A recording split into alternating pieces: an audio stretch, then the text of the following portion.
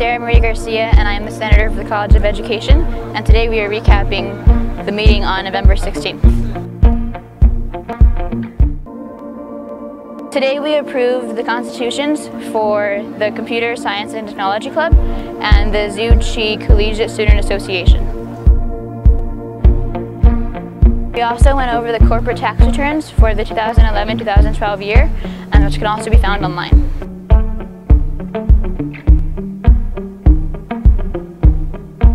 Associated students organized a donation drive called 50 and 3. Our goal is to, to raise $50,000 in three days for the victims of Hurricane Sandy, and all proceeds will go to the American Red Cross.